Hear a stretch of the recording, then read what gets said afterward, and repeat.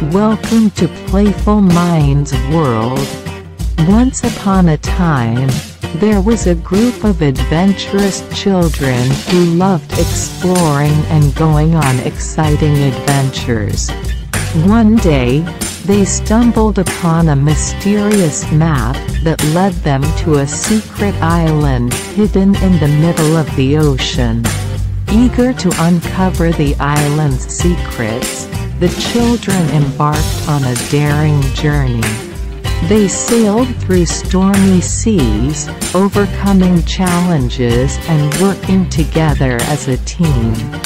Finally, they reached the secret island, which was filled with lush forests, sparkling waterfalls, and exotic wildlife.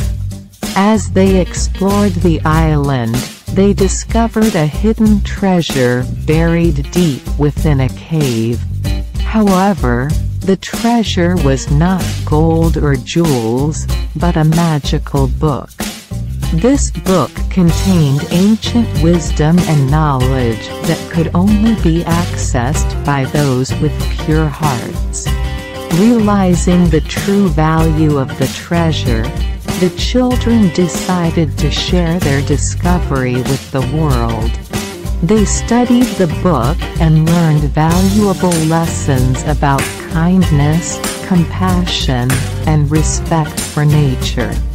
They also taught others how to live in harmony with the environment and treat one another with kindness.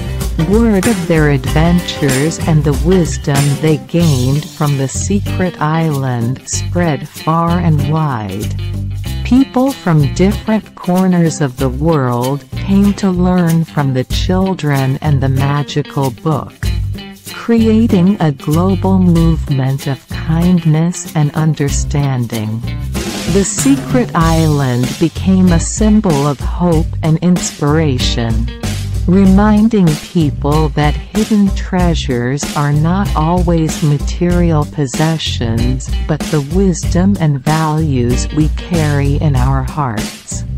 Moral True treasures are found in wisdom and kindness, not material possessions. Please like, share and subscribe Playful Minds World to see more videos.